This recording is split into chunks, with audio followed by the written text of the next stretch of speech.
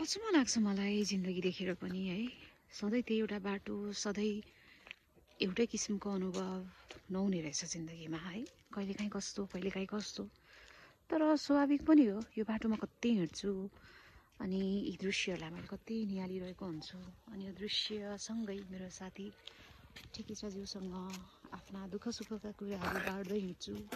ठिकै ज्यूलाई केही समयदेखि सन्चो छैन उहाँलाई ज्वरो आइरहेको छ होइन ठिकै ज्यू मेरो साथी हो उहाँ एकदम मिल्नुहुन्छ उहाँ मसँग धेरै कम बोलिए र देखिए तापनि उहाँको भित्री भाव मलाई एकदम धेरै मनपर्छ। उहाँ भित्रदेखि धेरै बाठी हुनुहुन्छ होइन त? हो कि नन्सेस त उहाँ। धेरै बाठी हुनुहुन्छ ओसिन्छ अनि मैले चाहिँ हजुरलाई हाम्रो ब्लग केही समय अगाडिदेखिबाट चाहिँ प्रस्तुत गरिरहेको थिइनँ किन भन्दाखेरि मेरो आइफोनको स्टोरेज फुल भएको थियो। अनि आजसम्म हाउ आई म्यानेज द्याट होइन? मैले आज चाहिँ म्यानेज गरेँ। अनि मैले चाहिँ यसरी भिडियो क्लिप ब्लग थ्रु चाहिँ मैले आज ब्लगर पस्किरहेको छु। सबैजनालाई मनपर्छ राम्रो हुनको लागि सबैजनालाई मनपर्छ चिटिक्क परेर हिँड्नको लागि सबैजनालाई मनपर्छ। मिठो मिठो खानेकुरा खाएर राम्रो राम्रो ठाउँमा घुम्नको लागि होइन? अनि राम्रो राम्रो चाहिँ मान्छेसँग सङ्गत गर्नको लागि होइन ठेकीज्यू?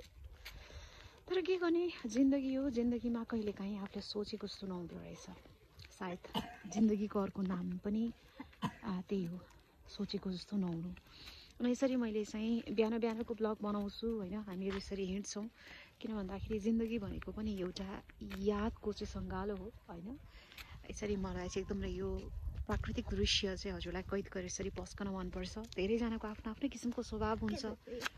धेरैजनाको आफ्नो आफ्नै किसिमको राय सल्लाह पनि हुन्छ जिन्दगीलाई कसरी व्यतीत गर्ने भनेर।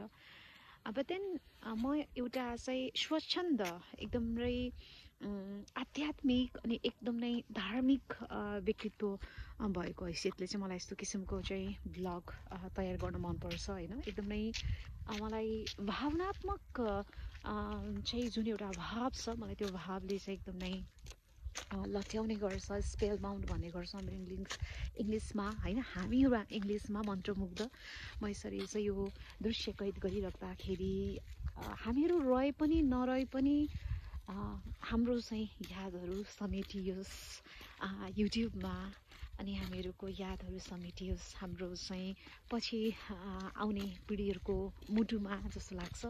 त्यस कारणले गर्दाखेरि कुनै पनि भाव बिना मैले चाहिँ कुनै पनि भाव त छ यसमा तर कुनै पनि स्वार्थको भाव बिना मैले यसरी अँध्यारोमा पनि यसरी ब्लग बनाइरहेको छु है हजुर।